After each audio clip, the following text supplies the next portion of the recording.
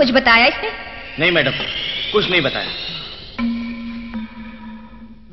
बोल अजय को मारने के लिए तेरे भाई सत्तार पठान ने भेजा था ना तुझे नहीं झूठ बोलता है कमीने अगर तुम्हारे भाई ने नहीं भेजा तो किसने सुपारी दी थी बोल किसने सुपारी दी थी मुझे किसी ने सुपारी नहीं दी थी तुम ऐसे नहीं बोलोगे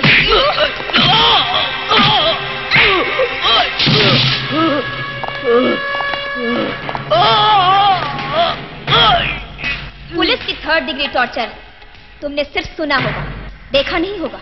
मैं अभी दिखाती हूँ।